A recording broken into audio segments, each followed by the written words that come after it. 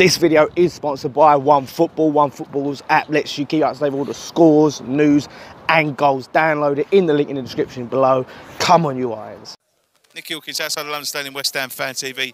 Adam, we are having a party today. Oh, fucking, I'm having a party. Adam Page is having a party. I tell you, that was. Look, we were magnificent today. I thought we played them off the park. We, we dug deep, but do you know what? I think this is the worst Arsenal team I've ever seen us come up against in, in recent times. They were piss poor. Well, they sung at us, you're not West Ham anymore. Well, they certainly aren't Arsenal anymore, are they? That, that's it. They're, they're definitely not Arsenal anymore. Not the Arsenal that we know, anyway. Um, but yeah, we give him a good hiding, mate. Um, Sammy Nasri today, I've got to mention him. He was outstanding.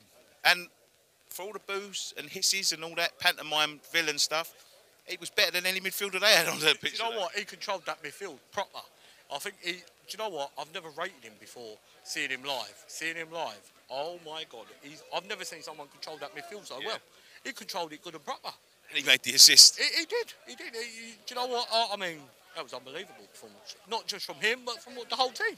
Yeah, really dug in well. I thought Bonner was good. He's got to take a bit of plaudits today because I thought he was really good. Do you know what? He, he, he was good. You know, in recent times, in the past few games, he's been pretty bad. Um, but today, he, he was on point. Yeah. Uh, who we got next? Liverpool. Yeah, Liverpool. Liverpool. Uh, Bournemouth away next, mate. Got fancy yourself, surely. Do you know what? I do fancy us. I do. Um, do you know what? I, I don't know why, but I just fancy.